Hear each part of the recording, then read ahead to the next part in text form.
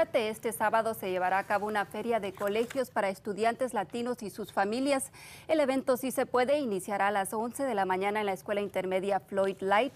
Ofrecerán la oportunidad de conocer a representantes de colegios públicos, privados y comunitarios, además de participar en talleres sobre ayuda financiera y becas para que sus hijos logren sus sueños de una educación superior. Habrá comida y cuidado de niños. Regístrese llamando al número en pantalla.